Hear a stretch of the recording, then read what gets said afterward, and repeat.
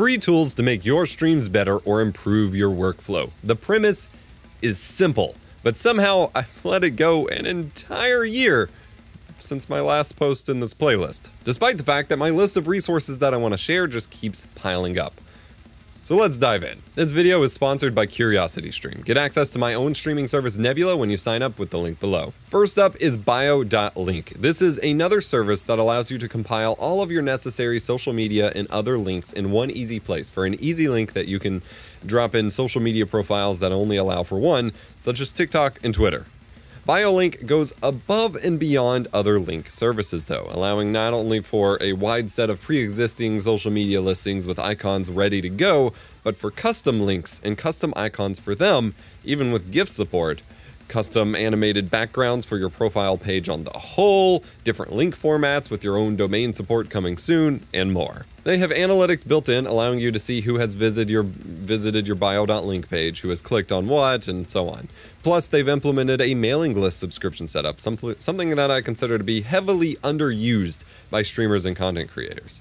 Even better, the main premise of the site promises that it will be always free, which is nice to see. This is potentially the most complete and thought out link service that I have seen to date, and I am very impressed. Second up, we have an FFmpeg script from fellow stream educator Nutty, which allows you to drag your alpha channel exports of your stream graphics onto it, and then it will convert it to VP9 WebM files for distribution or for use in OBS or other streaming programs, without the hassle and without the slowdown of the After Effects plugins for those exports. I recently released something similar in a video a few months back now, but just never posted it to my GitHub for some reason. Don't know what's up with that, so we'll just point to Nutty's. That being said, I did investigate recently and come to the conclusion that most streamers maybe shouldn't be using VP9 and should be using ProRes or uncompressed video instead for performance reasons. Video on that linked below. I'm still including this resource as there are plenty of people who still want to stick with VP9 regardless. Next up is a security measure. There's a new wave of malicious Twitch extensions going around where people can sniff your IP address and leak it just by you visiting their Twitch page.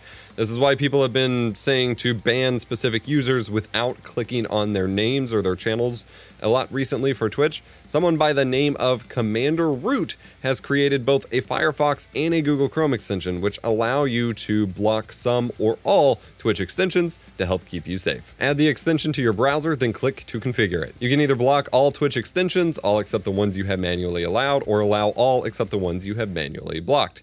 It's a little tedious to manage these one by one, though you can of course just block all and then wait until you find a compelling one worth allowing on a stream by stream basis, but it's worth it to keep yourself secure. Live Curtain allows you to quickly throw up a full screen countdown timer. This is useful for taking a pause to run to the bathroom during your stream, waiting for students to connect to your online class, intermissions, and so on. Obviously, there are a lot of ways to set up countdowns on your stream, some more involved than others, but this is probably the quickest and simplest way to just toss one up real quick, either via screen capture or browser source, and customize the theme, what, what it says, and modify the time as you go, which is Nice. Kamua is a browser-based video editor that can save you a ton of time when converting your videos to vertical for social media. It has fully automated cropping and reframing for vertical format, automatic captions and subtitles in 60 languages, which is nice, and can even identify the different cuts and scenes in a video to help you choose the right one. You get one gigabyte free of video usage per month before it costs, and yes, they do have paid plans, but they start at just $2 per month, so it's super affordable. I think the free tier could save a lot of people a lot of time, especially those of you who ask me how to juggle the seemingly never-ending list of social media sites that you're supposed to somehow post to every day for growth and all of that. So, yeah. If you want to learn how to quickly and easily edit your videos for TikTok or other social media platforms using another free tool, stay tuned to the extended cut of this video. That's available over on my own streaming site. My videos are higher quality there, ad-free, and often extended from the YouTube versions, just like this one. The site is called Nebula, and we've partnered with CuriosityStream.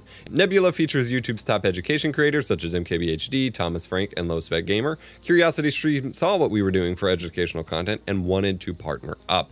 We've worked out a deal where if you sign up with the link In the video description, you not only get access to CuriosityStream and their library of thousands of documentary and educational titles, but you get access to Nebula for free for the entire duration of your Curiosity subscription as well two for one. For a limited time, CuriosityStream is offering 26% off their annual plan, making it less than $15 per year for both CS and Nebula. While you're there, check out Cat Nation to learn about the bizarre and unique world of Japanese cat culture. Head on over to curiositystream.com slash epos for the best deal in streaming and get access to both sites for under $15 per year. It's crazy, just do it.